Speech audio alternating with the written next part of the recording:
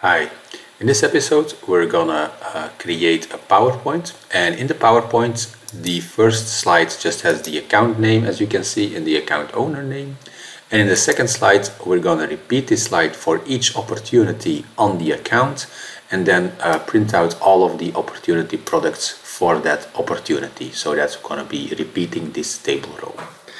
Let's get started. First of all we're gonna create a new doc config in Salesforce. It's going to be of uh, the PowerPoint type. If you don't see this type over here, just go to your uh, permission set and make sure that the record type for PowerPoint is switched on. Then I'm going to call this repeating uh, slides. Okay. And I want to save it I want to do file overwrite so I don't get a new file every time I generate. Let's click the Save button. Then I'm going to open the configuration screen and in the configuration screen I will first of all add my document.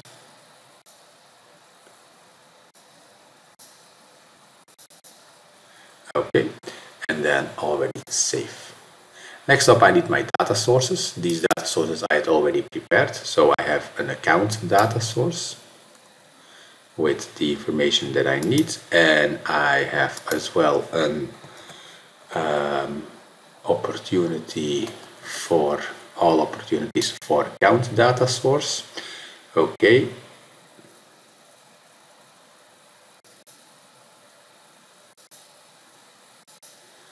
and then last but not least I'm gonna say here I'm gonna use this one okay so that's um, that's my um, that's my data sources. Let's already save. And then I'm going to add config types. First of all, I'm going to add the config type for the first page. That's uh, account name. So I'm going to copy paste this one. Okay, it's the account name. Data source is going to be account. The field is going to be the name. Merge field account name. Okay. Then I'm going to add a config type for the account owner.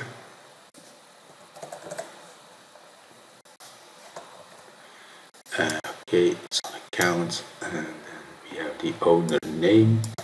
Okay, and then I'm going to add a config type of the type slide repeater. So this will actually then uh, find my slide and repeat that slide. So this is to be uh, slide opportunity name okay this is to be uh, the all opportunities for account merge fields. okay and then step one I'm gonna already create a new child here opportunity name and that's to be the name of our opportunity with merge field opportunity name okay so let's save this already. Okay um, then next up we of course need to add a few more childs. And this is going to be opportunity amount. Always copy paste this one. Uh, these uh, merge fields that's the amount the amount I wanted in currency formatting. Okay then next up I'm gonna do a table row. So the table row will be identified by the merge field product name. So dr product name. Not use a parent data source but use a child all products and then the merge fields. Okay and then here we're to add a new child. Product name name. Okay and then product quantity goes very fast as you can see. Quantity uh, no formatting for now. We seen formatting in different videos already and last but not least the production uh, the product price. Okay let's add one more child there and then the, to the total price in currency okay let's save the configuration. Uh, there is no errors so everything is fine. Then um, next up I'm gonna go to an account let's say my Rhino Cars account And on this Rhino Cars account I have um, five of five opportunities so that's fine I will do here edit page and then copy the ID of my doc config while the page is loading.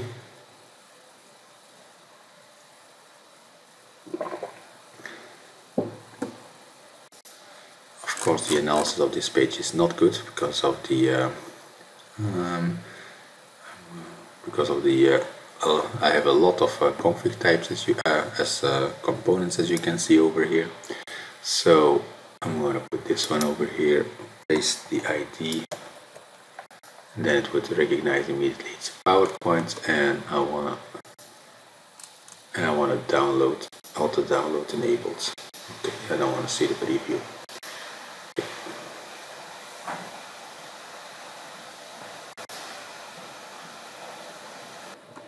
Okay, so now we are ready to try. So if I generate my PowerPoint, it will automatically download. It's already there.